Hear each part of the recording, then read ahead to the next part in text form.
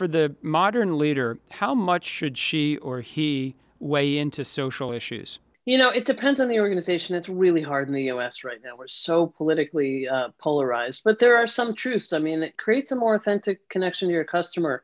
I mean, I love what Citibank is doing. Citi's chief economist did a calculation in that racism cost us $16 trillion between 2000 and 2018. That's the mortgage we didn't give for someone to build equity. That's the uh, entrepreneur who didn't get funding. That's a job that wasn't created, the job that wasn't, you know, given, et cetera. And so Citi has, you go on their homepage right now, they have a, in a concerted effort to build Black wealth.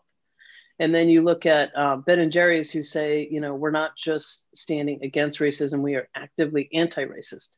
And some of those stances are making very, uh, so I'm, I'm thinking about, I don't have a Citi account, I want to open one now mm-hmm. that are making you know people really want to be part of that shared purpose and the organizations that have in the middle of the pandemic stepped up treated their employees as best as possible are getting real customer loyalty it does seem like that's the opportunity for business and business leaders is to fill some of the gap that has been left either by government or other institutions on some of these pressing social issues. And I would just add, this is, uh, you know, Warren Buffett said in his 2007 shareholder letter, when we were right before the dot com bomb, he said, when the tide goes out, you find out who's swimming naked. And he was referring to, you know, bad business model to mask by a raging economy.